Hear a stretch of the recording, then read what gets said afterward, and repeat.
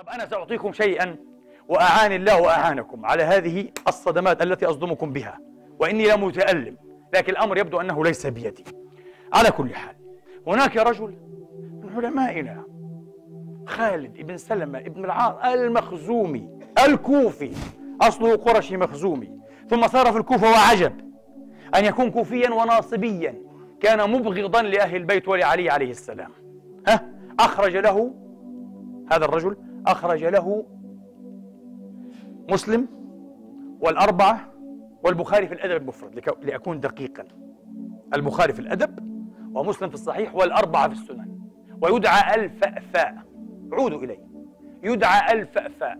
اقرأوا ترجمته في تهذيب التهذيب للحافظ ابن حجر العسقلاني نور الله ضريحه. ختم ترجمته بقوله طبعا ذكر أنه كان ناصبيا مبغضا لعلي وهذا عجب كما قال الذهبي أن تكون كوفيا. وتكون ناصبيا؟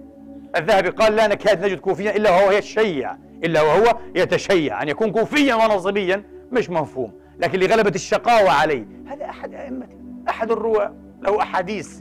وهو راوي حديث كان رسول الله ذاكرا لله على كل أحواله أو أنحائه الذي أخرجه مسلم. وذكر في صحيح البخاري عرضا دون أن يذكر إسناده. وعلى كل حال هذا الرجل يقول ابن عائشة يقول وكان يروي أو ينشد آل مروان الشعر الذي هجي به رسول الله.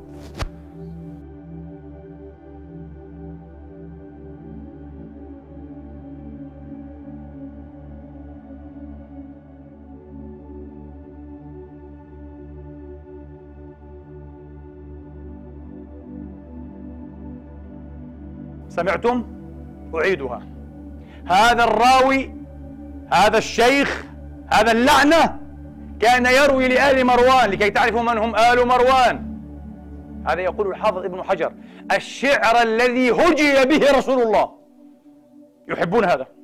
يحبون الشعر الذي سب به محمد صلى الله عليه وسلم. ينشد في قصورهم في قصور أمية.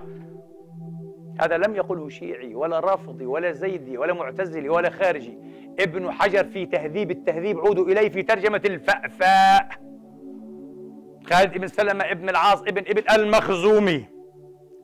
لذلك كان مبغضا لعلي. طبيعي مفهوم جدا أن تبغض عليا.